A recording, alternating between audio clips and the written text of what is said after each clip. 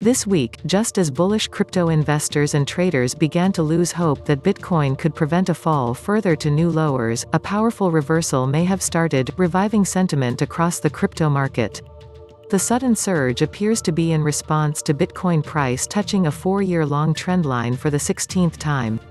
Bitcoin is a relatively new asset in the financial world, born just tens years ago as the first ever cryptocurrency, an experiment created by Satoshi Nakamoto that also ushered in the age of a technology called blockchain. Related reading, Bitcoin surges to $7,200 by 11% in massive one-day reversal, as traders consider bottom but despite the asset's young age, it's already built up plenty of historical price action, including a trendline acting as support for the past four years.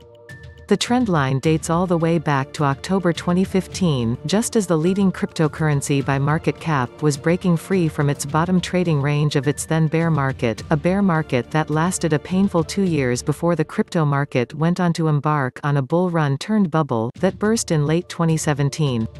According to a prominent crypto analyst, this trendline extending back four years, all the way to Bitcoin's most recent bear market bottom at $3,100, has been touched now a total of 16 different times.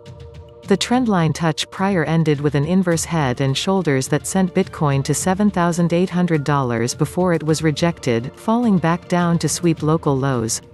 but it was a strong break below the trendline on the weekly that resulted in a powerful rebound at $6,450 after lows were swept, resulting in a $1,000 candle taking Bitcoin back to $7,400.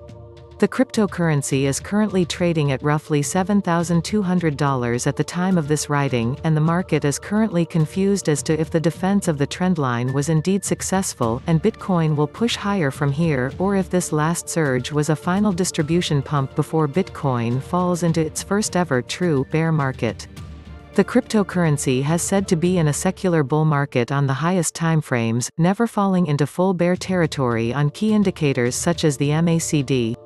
Related reading, Why crypto companies must go bankrupt before next bull market begins A break of this clearly vital trend line could be the last line of defense between Bitcoin's next bull market, and a long-term bear market that could cause the cryptocurrency to fall completely out of favor, or even the complete destruction of the cryptocurrency industry leading to the bankruptcy of many crypto projects.